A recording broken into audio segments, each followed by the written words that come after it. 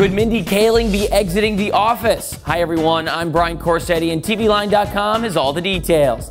Mindy Kaling is known for playing Kelly on the hit NBC show The Office, but could her days on the show be numbered?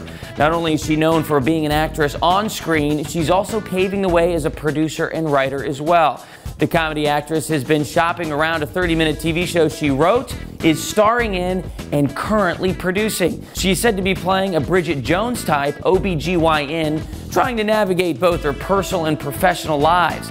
The best part is that Fox just ordered a go for the pilot, but what does this mean for Mindy? Well, she would serve as executive producer alongside fellow Office producer Howard Klein, and if the show gets picked up, she will ultimately be leaving The Office.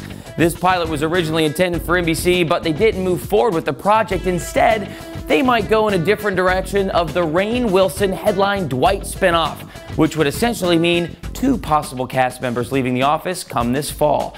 What are your thoughts on Mindy leaving The Office? And will this be the end for the hit show? I swallowed a tapeworm last night.